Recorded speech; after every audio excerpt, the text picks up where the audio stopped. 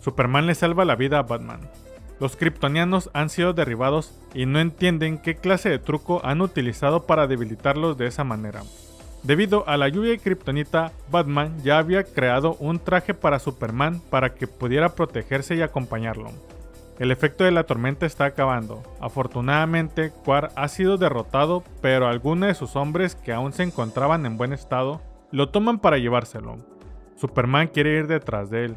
Batman le pide que lo deje ir.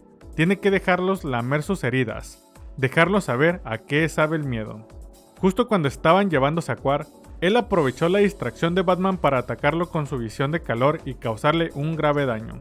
Ante esto, Superman lo toma y se lo lleva volando a gran velocidad para ponerlo dentro del foso de Lázaro, y de esta manera el murciélago se logra recuperar.